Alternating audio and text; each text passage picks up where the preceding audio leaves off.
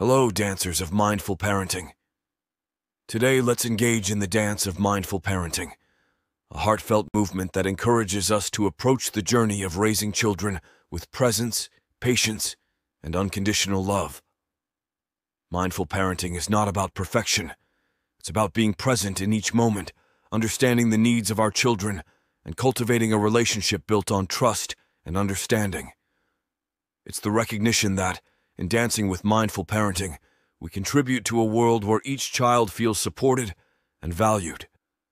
Consider the transformative power of mindful parenting, the way it nurtures emotional intelligence, strengthens family bonds, and creates a dance where every interaction becomes an opportunity for connection.